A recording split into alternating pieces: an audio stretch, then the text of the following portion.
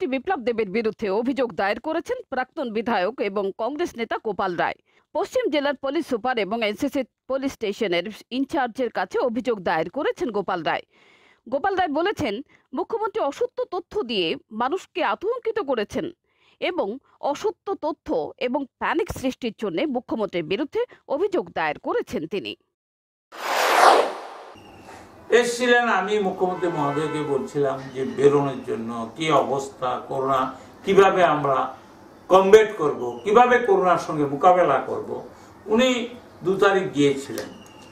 কিন্তু আমার কাছে এখানে এ আছে রেকর্ড আছে।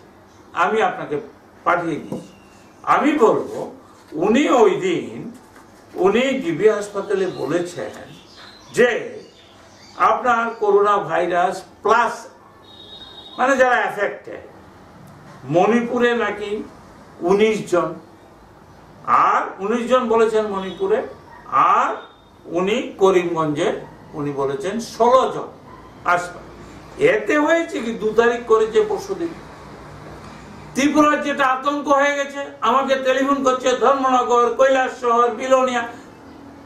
একটা কথা আছে প্যানিক সৃষ্টি হয়ে যাচ্ছে আইরে আইরে যেমন আপনি একাত্তরের বাংলাদেশের ওয়ার স্বাধীনতার যে যুদ্ধ আপনি দেখেন, তখন আমরা, আমি গান্ধী স্কুলে তখন মাত্র শুরু কলেজটা শেষ হয়েছে, তখন আইরে আইরে বলে মানুষ পালাতো। একটা প্যানিক সৃষ্টি হতো। কিন্তু যে মাননীয় মুখ্যমন্ত্রী আজকে আমি বলছি যে স্টেটমেন্ট করেছে, আমি মণিপুরে টেলিফোন করেছিলাম। ওখানে অ্যাফেক্টেড হলো টু অনলি টু আগে এক ছিল, আরেক বেড়েছে। আর করিমগঞ্জে একজন। তো উনি উনিশ জন বলেছে, এটা আনওয়ান্টেড আনওয়ারেন্টেড এন্ড আনফর্চুনেট সত্যরুদ্ধ আজকে টেলিফোন করেছে, কি গোপালবাবু মরে যাব নাকি? কি হয়েছে? করিমগঞ্জ এসে গেছে, মুখ্যমন্ত্রী বলেছেন, ষোলো জন এফেক্টেড মণিপুর উনিশ জন। হোয়াট ইজ দিস আমি আজকে I I am compel I was compelled to file an FIR to the uh, SP, West PS, and uh, ওটা যায়নি এখনও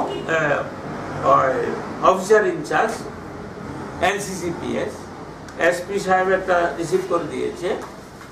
আমি ইন্ডিয়ান পেনাল কোডের section one eighty two and five zero five one B এতে আমি এটা attack করেছি কারণ এই ধরনের যদি মানে অসত্য তথ্য দিয়ে কোনো মুখ্যমন্ত্রী বা দায়িত্বপূর্ণ লোক যদি স্টেটমেন্ট করে এই ক্রুশিয়াল টাইমে তাতে রাজ্যের অপূরণীয় ক্ষতি হবে हमारे आसपास करीमगंज तक बहुत ज़्यादा पॉजिटिव केस मिली है 16 मिले गए आसपास ही हैं। मणिपुर में 19 मिली है। तो इसलिए त्रिपुरा बॉर्डर तो हमने सील करके रखा।